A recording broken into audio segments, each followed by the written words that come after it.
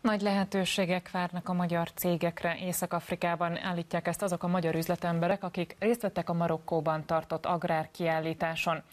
A Magyar Kereskedelmi és Kulturális Központ munkatársai által szervezett delegáció számos sikeres üzletet kötött helyi partnerekkel több városban is.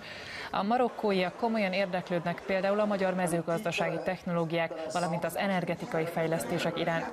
Különösen sikeresnek és jónak ítélték a magyarok esélyeit a királyság déli részén, ahol sivatagos területeken magyar technológiával szeretnék fellendíteni a mezőgazdasági termelést.